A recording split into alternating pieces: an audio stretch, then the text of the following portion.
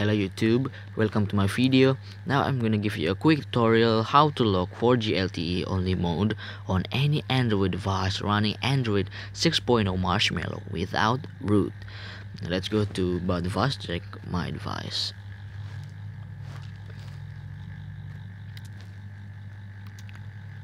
Here I'm using Samsung Galaxy J5 SMJ500G right here running Android um, 6.0 Marshmallow which is not support dial star hash star hash 4636 hash star hash star. So um, let's give it a try.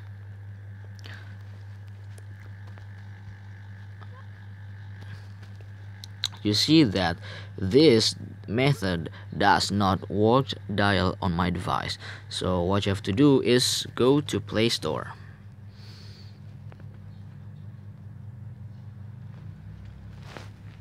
and type network.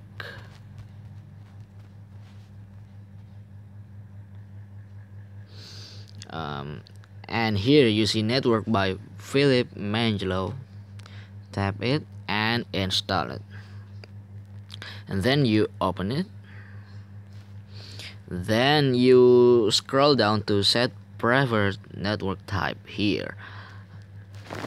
The default setting is LTE slash GSM Auto PRL. You just need to change it to LTE only. That's it, and you will get 4G signal logged on your device even on the low signal as well.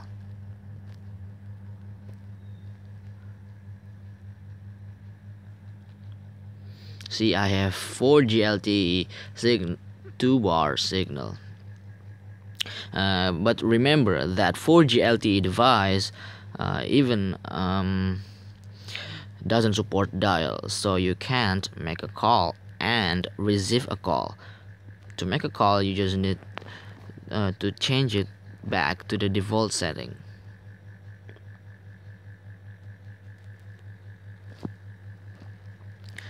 my suggestion is you just use LTE only mode if you just want to use internet.